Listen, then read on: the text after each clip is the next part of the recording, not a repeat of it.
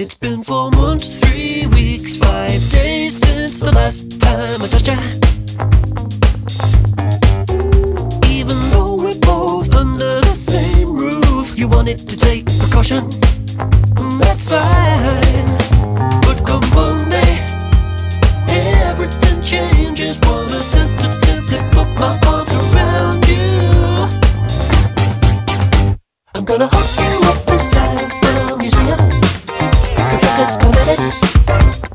natural history exhibit.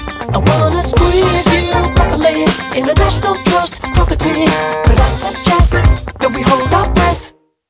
Cause I'm a cautious hugger, an apprehensive lover. Lean into me, but do we it carefully. Cause I'm just another nervous cuddler. Going too tight and I might get smoother. So it's best to exercise restraint. A confident embrace that I just gained. But my cautious hugging don't get no complaints.